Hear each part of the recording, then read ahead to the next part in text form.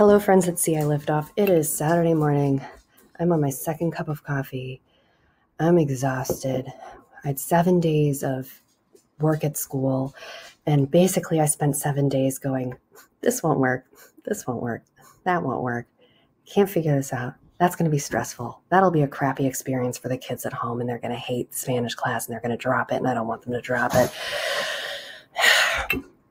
anyway, um, for some background, my school, I teach high school. Um, I teach Spanish 1 and 2. My school has decided to do a rotating block schedule. So, like, I'll have on, let's call it, we have them where they're red and white days. So, on red day, I'll have half of my period, my first period in person, and the other half is online. And then on the next red day, they flap. So then I'll have the online kids in person, and then the in person kids will be online. And I also have 100% remote kids. And I think this is a really important note. My school is allowing the students to bounce around between in person and 100% remote. Um, with a 48 hour notice. So I kind of can't create like a whole online curriculum because kids are going to be bouncing around and then it, just anyway i didn't want to do an async approach this year. I did it in the spring. It worked wonderfully. But i just feel like because the kids are going to be in all sorts of different places it's going to be way too much work for me to be asynchronous. So i'm going synchronous this year. I've been trying to figure out how to do it. And again as i said i keep finding all these holes and things that aren't going to work. But i think I finally figured something out. Now, again, I'm super bougie. Um, I wanted to make sure I had good tech this year because we only have Chromebooks as teachers at my school. And like we all know, Chromebooks, they're wonderful for what they can do. But like when I need to be doing a bunch of techie things, they don't work very well. So I went out and I bought myself an iPad Air. I know. And then I was extra bougie and, uh, I went and bought an Apple Pencil because I thought I'll be able to take notes. It'll feel like I'm really writing on the board. I'll be able to like save them as notes for my kids. I don't know. I, I just thought that this is a necessary expense. So I, I did spend the money. It was a lot of money. Anyway, I think after playing around with a thousand things, I think I finally figured out what I'm going to do. So, a lot of you have been playing with Google Jamboard, and I want to show you what I've been doing in Google Jamboard. All right, so I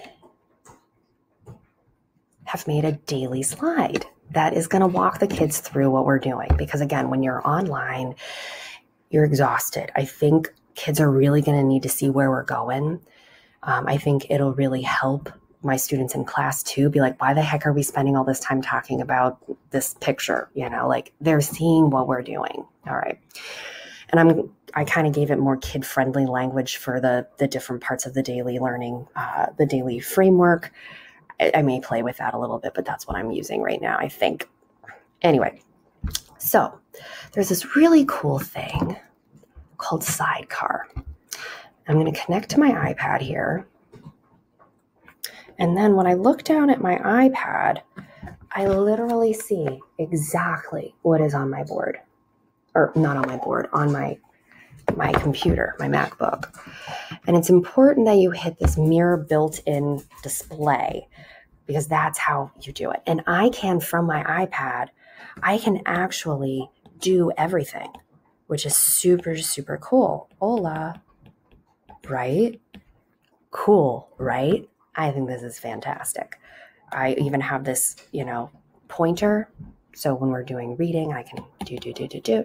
All right. So then I was like, how do I get this onto the projector at my school? Because I can't connect my MacBook to my projector because my projector is only connected to the PC that doesn't have a webcam and it's also in the back of the room. So i can't even like sit at the pc and like type.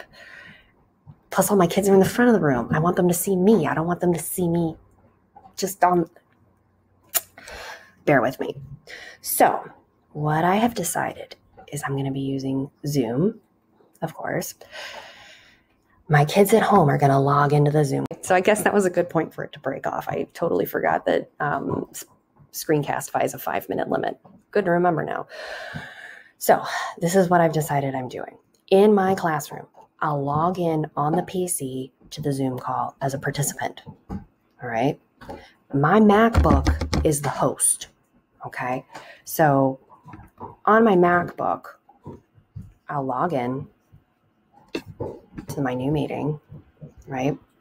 And this meeting, oh, and another really good tip log in using your phone audio. That way, your kids at home will actually have a crisper, um, more continuous um, experience with your what you're saying, um, especially if you're like my school. It's a huge school, and I'm not really sure that the tech's actually going to support all of us all using Zoom all at the same time. So that's a really great backup. If there's any lag, they won't lose your audio. Okay, so again, remember my screen here looks look it's kind of cool because it's like a me and a me and a me and a me and a me. Um, my iPad is this. So what I'm going to do is I'm going to go to share screen. Again, looky here, it's the same thing. All right. And then I'm going to open up Google Jamboard. All right. So now my kids at home, again, this video down here is just there because I'm in a, maybe I'll do this yeah, so it'll not feel so weird. There's not two of me. So my kids at home are going to be able to see me in class because I'll sit in front of my MacBook in the front of the class, in front of my students that are there.